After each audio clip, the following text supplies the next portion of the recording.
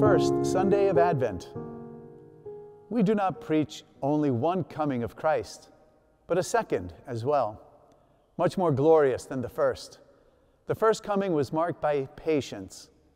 The second will bring the crown of a divine kingdom.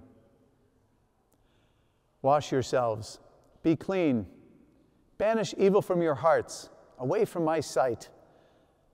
Though your sins be scarlet, they shall be made white as snow. Cease to do evil and learn to do good. Seek always what is just. Though your sins be scarlet, they shall be made white as snow.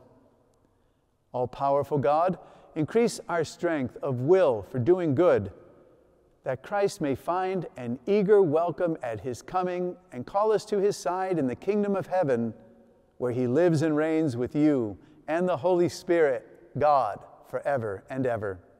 Amen.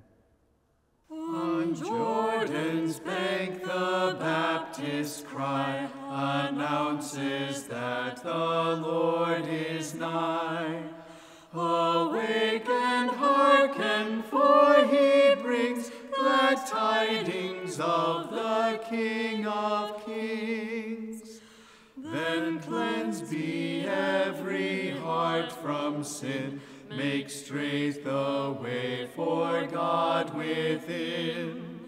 And let each heart prepare a home where such a mighty guest may come. Salvation, Lord, our refuge and our great reward. Without your grace we waste away like flowers that wither and decay. To heal the sick, stretch out your hand and bid the fallen sinner stand.